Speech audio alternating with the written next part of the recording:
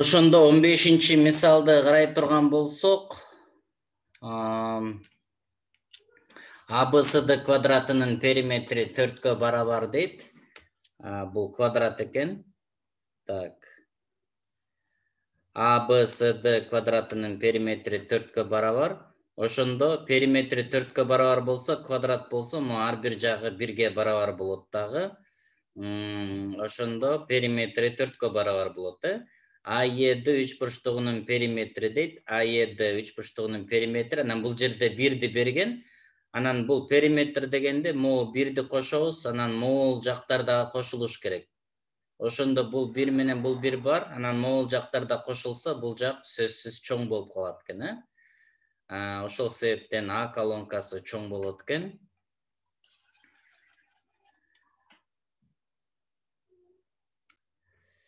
кийинки мисалды карай турган болсок а колонкасы б колонкасы дейт f от x барабар kx плюс b дейт ошондо бул формула да ушул формуланын негизинде чыгарышыбыз керек биз ушуга коюшубуз керек. Ошондо f бул жер бир деп турса биз ушул xтин ордуна бирди коюшубуз керек. Ошондо бирди кое турган болсок k плюс b болуп калат дагы экөө тең эле барабар болуп калат экен э бул эсеп жаңы амалдар деген эсепке тиешелүү кийинки мисалды карай турган болсок тогуздан жети анан бул минус он нөл бүтүн ондон жети экен муну ондук бөлчөк түрүндө жазып ала турган болсок бул ондон жети болот анан терс сандын кичиреги то есть нөлгө жакын жайгашат э балдар? То есть мындайынан караганда мисалы үчүн бул минус эки бул минус бир болсо демек оң жакта жайгашканы чоң болот ошол тогуздан жети дагы ондон жетиден оң жакта жайгашат координаталык түз сызыкта. Ошол себептен а колонкасы чоң болот экен. Так андан кийин кийинки мисалды карай турган болсок x y чоң экен. Z дагы y чоң экен. Анан x менен zти салыштырып койгон экен бизге ошондо биз билбейбиз да бул жерде белгисиз болуп калды. Себеби y zdен ydен x чоң болсо z да чоң болсо бул экөөнүн мааниси кандай жайгашканын биз билбей калабыз да. Мисалы үчүн мисалга ала турган болсом y нөлгө барабар x экиге барабар болсо z үчкө барабар болсо эле нөлдөн чоң болот. Анан z бир болсо деле нөлдөн чоң болот да. Ошондуктан биз каалаган маанини берсек боло берет. Ошол себептен бул эсебибизде маалымат жетишсиз берилип калган экен э. Кийинки мисалды карай турган болсок кайра эле координата түз сызыгы берилген балдар ошондо а нөл эки анан бир берилген экен. Бдан аны кемитиш керек экен. Ошондо могул жердеги аралыктарын эгерде карай турган болсоңор бирдей аралык берилген ошондо мисалы үчүн могул жерди дагы бөлө турган болсок могу баардыгы окшош э мына бир эки демек б үчкө барабар экен бул минус бирге барабар экен э ошондо могул а минус бирге барабар болсо могу жердеги минус менен эки минус плюс берет дагы могу жер төрт болуп чыгып калат балдар ушуга көңүл бурушуңар керек да. Мисалы үчүн ушул касиетти сурап эсептерди көп эле берет да бизге. Мисалы үчүн могул а терс сан экенин көрүп атабыз э? Б оң сан экенин көрүп атабыз мына мисалы үчүн. Ошондо могул а терс сан болгондуктан кийин могул жердеги минус болсо ушул минус анан аныкы дагы минусу менен биригип мондай болуп а өзү минус сан болгондуктан цифраларын эле коеюн чоңураак жазып э? Бул канча болду? Так бир минус бир болсо ошо сырттагы минус менен ичтеги минус бул бирди берип калды. Ошондо биз ббыз үч болду үчкө бирди кошсок төрт болуп бул жак чоң болуп калды.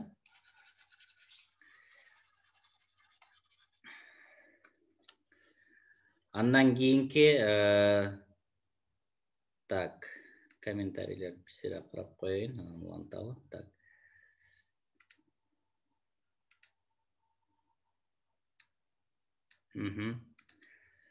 Так андан кийинки x y тик буручтуу координаталар системасында y барабар f от x функциясы графиги сүрөттөлгөн дейт. А барабар нөл болсо а канчага барабар дейт э? Ошондо э, бул y y болсо а качан y качан нөл болот? Так y нөл болгон учур мына могул жерде нөл болот э?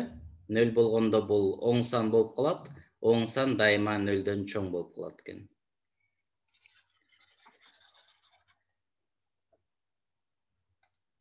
Кийинки э, тапшырманы карай турган болсок э, жылда ушул э, касиет аябай көп кездешет. Үчүн жыйырма бир үчтөн эки бул жерде экиден үч экен.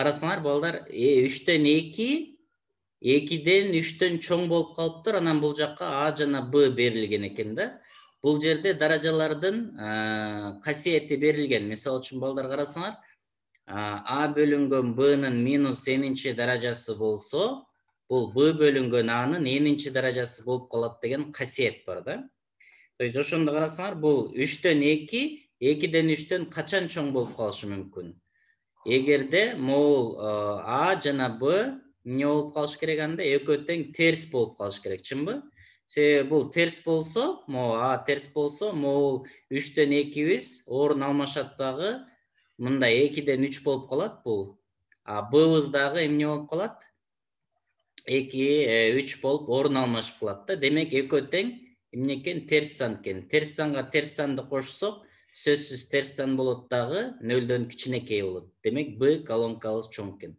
ушул жерден мен силерге дагы кошумчалап э, көрсөтүп кетейин. Э, мындай дагы касиет берилет да балдар.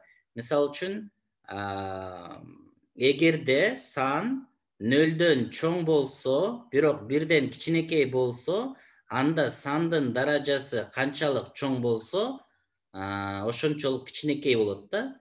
То есть карасаңар x мына нөлдөн чоң бирок бирден кичинекей болсо xтин бешинчи даражасы xтин төртүнчү даражасынан кичинекей болуп калат экен. Мисалы үчүн ушул ушул касиетти аябай көп сурайт да жылда. Мисалы үчүн силерге көрсөтсөм нөл бүтүн ондон бешти алалы нөл бүтүн ондон беш нөлдөн чоң бирок бирден кичинекей чынбы. Анан нөл бүтүн ондон бештин квадраты чоңбу же нөл бүтүн ондон бештин кубу чоңбу деп сурай турган болсом анда азыркы эреже боюнча нөл бүтүн ондон бештин квадраты чоң деп сразу эле белгилеп коет экенбиз ошондо нөл бүтүн ондон бештин квадраты нөл бүтүн жүздөн жыйырма беш болот нөл бүтүн ондон бештин кубу нөл бүтүн миңден жүз жыйырма беш болот. Көрдүңөрбү? Ошондо нөл менен нөл барабар эки болсо бирден чоң ошол себептен нөл бүтүн жыйырма беш нөл бүтүн жүздөн миңден жыйырма бештен чоң деп белгилеп коет экенбиз э мына ушундай касиеттер бар экен даражалар боюнча келгенде мына ушул касиеттерди дагы сурайт экен кийинки тапшырма жүздүн квадраты минус токсон тогуздун квадраты бул кыскача көбөйтүүлөрдүн формуласы боюнча берилген ошондо биз а квадрат минус б квадрат эки кашаага ажырап кетет математика кабинетине кирген болсоңор балдар дайыма ушул формуланы көрөсүңөр да кыскача көбөйтүүнүн формуласы деген. Ошо он биринчи класстар дайыма математика же кыргыз тил кабинетине көбүнчө көп эле кирген болосуңар ошондо ушул формула бар да ар бир ошол математика кабинетинде. Демек ушул э, жүз менен Э, бул жүз минус токсон тогуз анан жүз э, плюс токсон тогуз деген эки кашак ажырап кетет. Ошондо буну алсак э, бул жерде бир болот а бул жер жүз токсон тогуз болот бул жерде да жүз токсон тогуз экөө барабар болот экен. Бул биринчи чыгаруу ыкмасы экинчи чыгаруу ыкмасы формуланы эстебешиңер деле мүмкүн да. Көбүнчө окуучулар формуланы деле эстебеши мүмкүн. Ошондо эмне кылабыз анда? Жүздү квадратка көтөрүп токсон тогузду да квадратка көтөрүп экөөнүн бири бирин кемитип койсоңор анан кайра могуну экөөнү кошуп ушинтип эле түз иштеп салыштырасыңар ал учурда баягы мен өткөн сабакта айтып кеткендей эле өтө тез көбөйтүү колуңар менен бат баттан көбөйтүп бат баттан бөлгөндү машык кыла деп айткам э өткөнкү сабакта. Ошол нерсени машыга турган болсоңор формуланы деле колдонбой эле иштеп кетсеңер боло берет экен сөзсүз шарт эмес экен да формуланы колдонуш. Главный туура жоопту табышыбыз керек э. Кийинки айланалар жыйырма үчүнчү тапшырма айлананын борбору дейт о анан бул жерде xти сураган экен. Ошондо могул жер элүү болсо могул жер жүзгө барабар болот э. Анда могул жер дагы x болот. Эмне себептен? Себеби ушундай айлананын касиеттери бар экен. Могу борбордук градус дайыма могул жерден могул жерде а точкасы могул жерде б точкасы деп ала турган болсок каалаган дагы бир чекитти ушул эки точка менен бириктире турган болсок могу жер xка барабар болсо бул жер эки xка барабар болот экен могу борбордук могу любой бир чекитти алып ушул эле эки чекит менен бириктирсек эки эсе чоң болот экен да градусу ошол себептен мен муну элүү градусту жүз градус деп оңой эле таап алдым автоматтык түрдө эле. Бул жер x болсо бул жерде x деп атканын себеби могул борбору о болуп аткан үчүн могул радиус болот бул да радиус. Ошондо үч бурчтук тең жактуу үч бурчтук болот да. Ошондо могул жер x бул жер деле x болот. Ошондо карай турган болсок бул жер жүз болсо ошондо үч бурчтуктун ички градусу жүз сексен градуска барабар болуш керек. Ошондо xыбыз кыркка барабар болуп калат экен э. Анда бул чоң болот экен. Ушинтип табат экенбиз. Андан кийин кийинки тапшырманы карай турган болсок так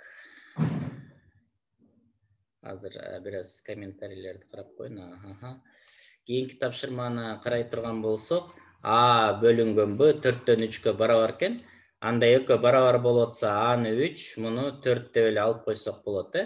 Ошондо үчтү үчкө бөлсөк бир төрттү төрткө бөлсөк бир бирден бирди алсак нөл демек экөө барабар.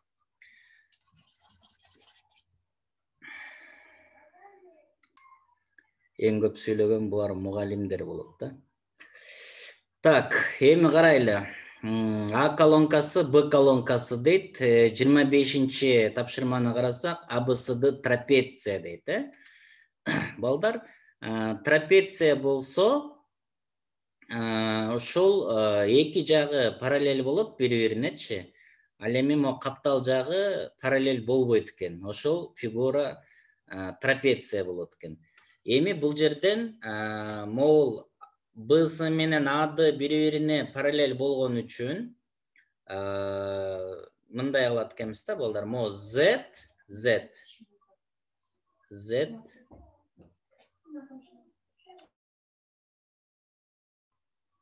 z деген могул xка барабар болот да муну карама каршы жаткан бурчтар деп коет да анан аб менен бс барабар дейт могул экөө демек yге z барабар да себеби бул тең тең жактуу үч бурчтук болуп калган үчүн yге z барабар болот а zге x барабар экен анда көрдүңөрбү ошондо yге z барабар болсо yге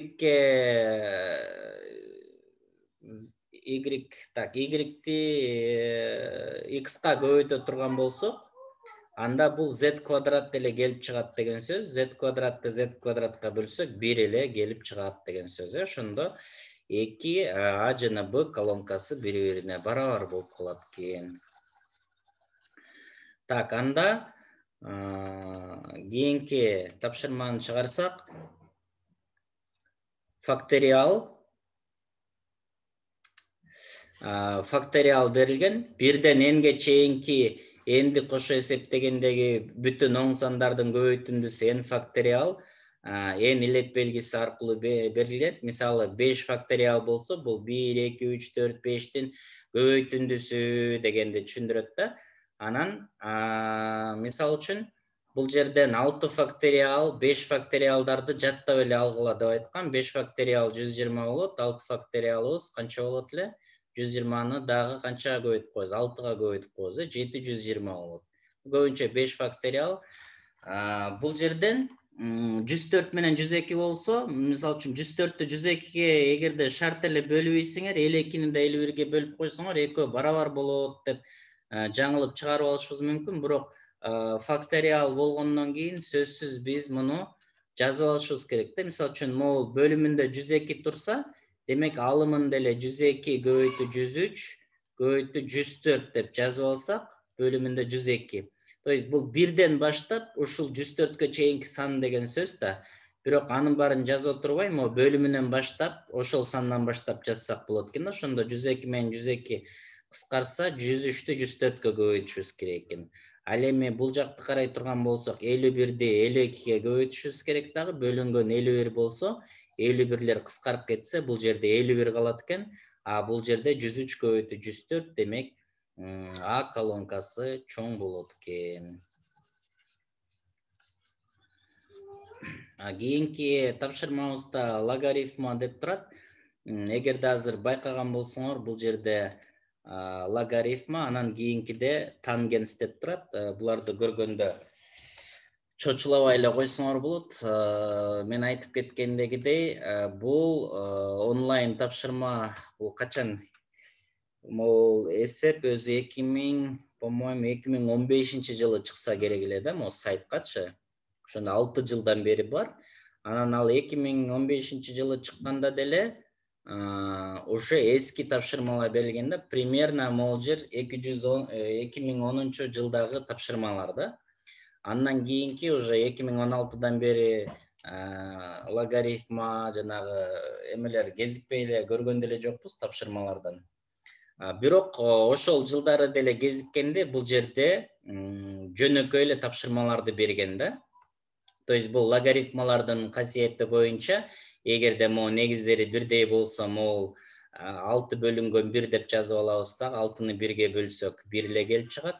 Анан бул жерде кошулган болсо алтыны бирге көбөйтүп коюшубуз керек дагы. Алтыны бирге көбөйтсөк то есть алтыны бирге бөлсөк алты бир эмес э и алтыны бирге көбөйтсөк алты келет дагы экөө бири бирине барабар болуп бул жер барабар чыгат да. Бул жерден кененирээк теориясында караш керек. Бирок жана кошумча математиканы тандаган профилдерди тандагандар боюнча бул тапшырмалар татаал болуп кездешет экен андан кийинки үч бурчтуктун ички бурчтары бул жүз сексен градус болот анан тангенс жүз сексен градус дагы нөлгө барабар демек бул дагы экөө барабар экен бири бирине бул жерден эми теорияны билиш керек да бул жерден мындай баягы математикалык техникалар менен чыгара турган нерсе эмес теорияны билиш керек экен кийинки тапшырманы карай турган болсок баардык а жана б оң сандары үчүн а могул карасаңар балдар өткөндө дагы мындай суроо болуп атты да ошондо бул кандай амал деп өткөндө мындайынан берилген экен мындай болуп турган да. То есть бул жер мындай тоголок болуп эле анан бул жерде x бар экен анан бул мындай кандай тапшырма бул жаңы операция деп өзү эле жазылып турат балдар. Жаңы операция болсо аны формулага салып эле чыгарат экенбиз.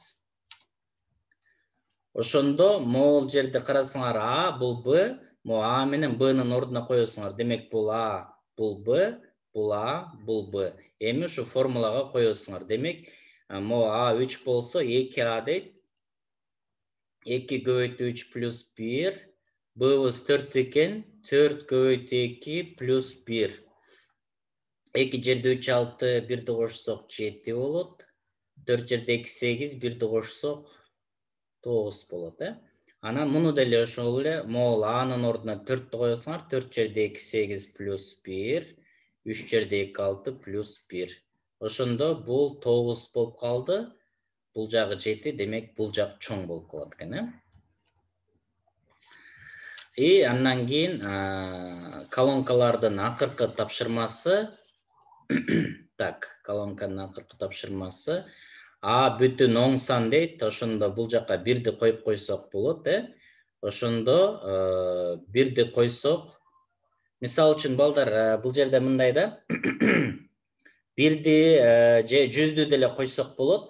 Ошондо мен силерге жана айтып кетпедимби? Эгерде сан нөлдөн чоң бирок бирден кичинекей болсо даражасы канчалык чоң боло берсе сан ошончолук кичирейип кете берет депчи ошондо могу экиден бир бул нөл бүтүн ондон беш деген сөз э анан могул үчтөн бирди каалаган даражасын алсак ал деле нөл бүтүн эле чыгат да мисалы үчүн ошончолук майдаланып кетет да ошондо биринчи даражасы болгондо деле бул нөл бүтүн нөл бүтүн ондон бешке жетпейт да бул уже. Ошондуктан экөөнүн суммасы бирге жетпей калат дагы бир чоң болуп калат экен.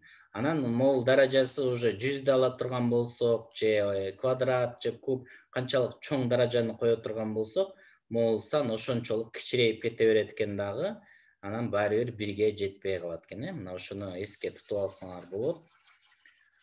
Бул ошондо так мына тапшырмаларды көрдүңөр. Геометрия периметр даражалар анан баары бир могул ар биринде бул жерде деле бөлчөк бар бул жерде деле бөлчөк бар.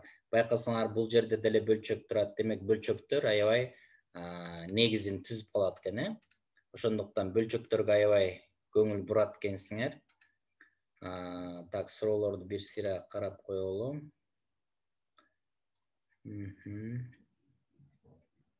так нормальный дейт э так жакшы